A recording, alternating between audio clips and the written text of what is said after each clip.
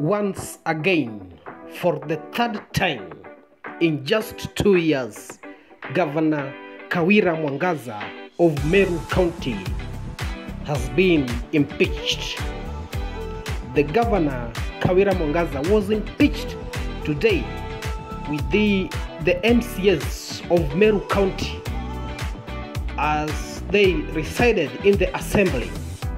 It is said that some of the mcs even slept inside the assembly house as they waited for a morning for them to act on this impeachment of Governor Kawira Mwangaza. No Kenyan can, under, can understand what is happening in Meru County. But with this rate of impeachment, just two years, impeachment has occurred three times. What is going on? Are the MCS discussing development or they are looking for ways to impeach the governor? Is this even country wise to continue in such a manner? Or is Governor Kawira Mwangaza not suitable for Meru County? Governor Kawira Mwangaza is believed to have been a member of parliament and then she migrated to women rep. And now in 2022 she vied for governor for the first time and won. She defeated the bigwigs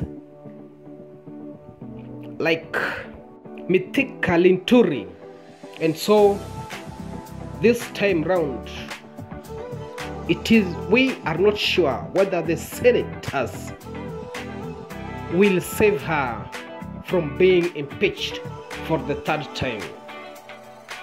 These mcs for meru county never discussed the development but they continue in any way and in major cases to discuss the impeachment of governor. As a kenyan do you think is right for this rate of impeachment? It is believed that the person driving this impeachment is the speaker plus the deputy governor of Meru County. Now, these two are against Governor Kawira Mwangaza. What is it that these Meru leaders can't fathom or can't stay or can't wait for the 2027 general election? Are the crimes committed by Governor Kawira Mwangaza not acceptable or no one can wait for them? Or what might be the sole reason for the impeachment of Governor Kawira Mwangaza? Once again for the third time in just two years governor kawira mwangaza of meru county has been impeached. The governor kawira mwangaza was impeached today with the the mcs of meru county as they resided in the assembly. It is said that some of the mcs even slept inside the assembly house as they waited for a morning for them to act on this impeachment of Governor Kawira Mwangaza. No Kenyan can, can understand what is happening in Meru County.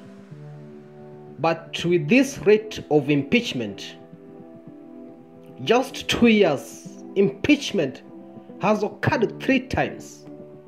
What is going on? Are the MCS discussing development or they are looking for ways to impeach the governor? Is this even country wise to continue in such a manner? Or is Governor Kawira Mwangaza not suitable for Meru County? Governor Kawira Mwangaza is believed to have been a member of parliament and then she migrated to women rep and now in 2022 she vied for governor for the first time and won.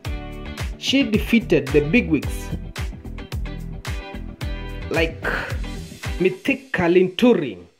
And so this time round it is we are not sure whether the senators will save her from being impeached for the third time.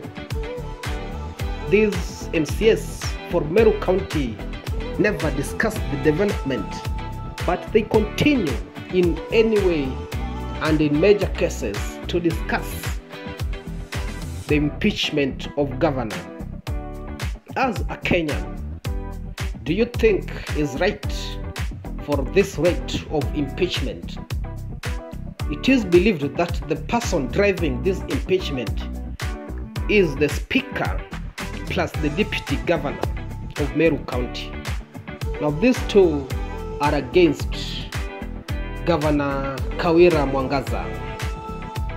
What is it that these Meru leaders can't fathom or can't stay or can't wait for the 2027 general election?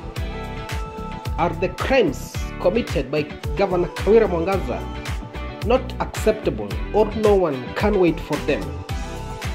Or what